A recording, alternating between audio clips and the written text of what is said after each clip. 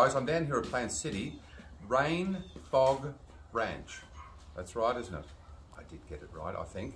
Um, I'm down here with Gretchen. She called us up about an opossum that she's got here. It's beautiful down here, guys. They've got seven acres down here. It's magic. And they're just setting themselves up actually to be a 501c3 like us for equine uh, therapy. So, uh, you know, we want to try and support everybody that does a 501c3 to care for our animals. Now, you know, all of you guys out there are animal freaks like we are. So I want to shoot and show you, this, this is an opossum that they've got here.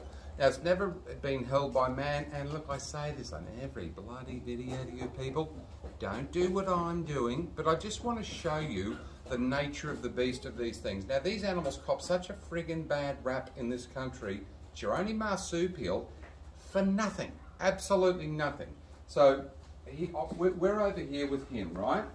So he's wild, he's never been held, he's just been shoved in this bucket here, which is great. I'm gonna pick him up.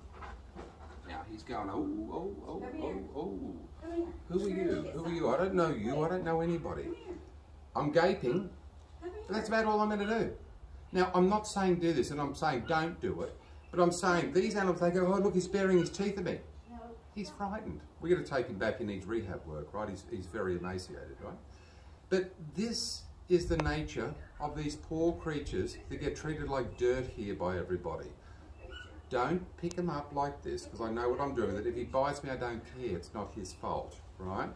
But, and he's just done a little poo on my foot, which is very nice. We've got it going in one end, coming out the other. He's actually been having something to eat. But this is, the reason why I'm showing you this is just I just feel so bad for these animals, I really do. I mean, and raccoons, you know that, I'm a lover of both, but I really feel for these poor buggers because people say they're ugly. They're only saying they're ugly because of their tail, because it's rat-like. It's a prehensile tail, they don't really hang from it, but they use it for balance. They use it to collect stuff as well as they go, no, no, no, you're okay, you're okay, you're okay.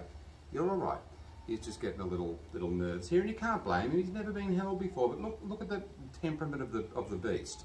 So he's got dirt and everything all around his mouth. I'm going to take him home, clean him up. We're going to give him some sub-Q fluids and all that sort of stuff, and get him on the straight and narrow.